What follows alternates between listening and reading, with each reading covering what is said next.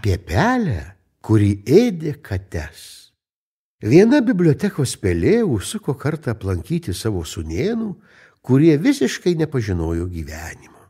Juk jūs visiškai nepažįstate gyvenimo, kalbėjo jį droviems savo sunėnams. Man rodos, jūs neskaityti, kaip dera nemokate.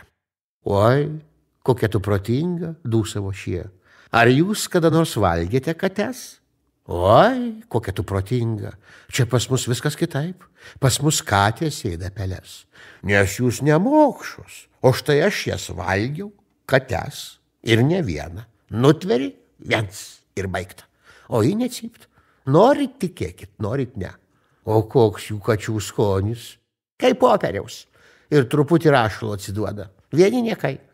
O štai ar valgėte kada šunį? Kur ten? O aš tik vakar vieną baigiau doroti. Vilkinį. Jo iltis sulik manim didumo, o mane motais. Aš ir ramiausiai. Viens ir suėdžiau. O jis nekrust.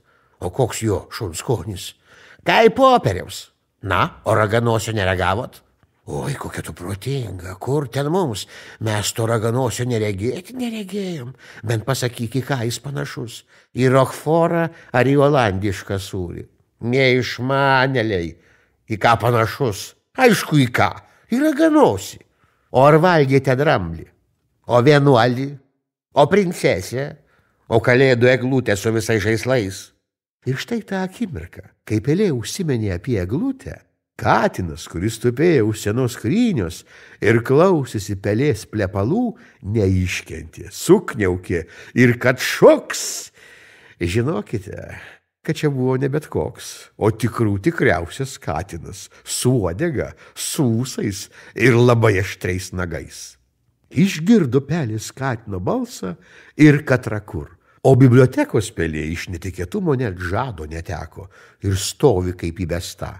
Katinas, ilgai negalvojęs, capt ją, sučiupo, bet neėdė. Sumanė truputį pažaisti. Tai tu, toji pelė, kuri kates ėda, klausė Katinas.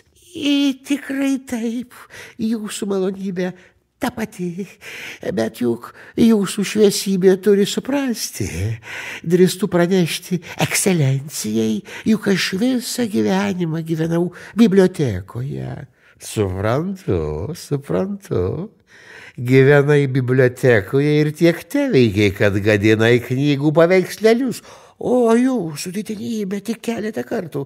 Galva kurdau jūsų didenybė tik savišvietos tikslais. Na žinoma, tarp kitko, aš taip pat labai vertinu literatūrą, bet ar tau netrodo, kad be knygų išminties dar yra ir kita išmintis.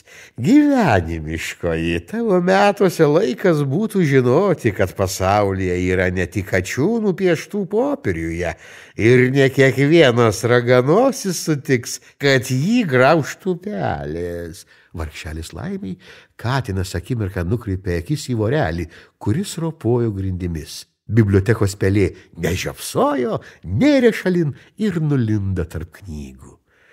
O katinas šį kartą turėjo pasitenkinti voreliu.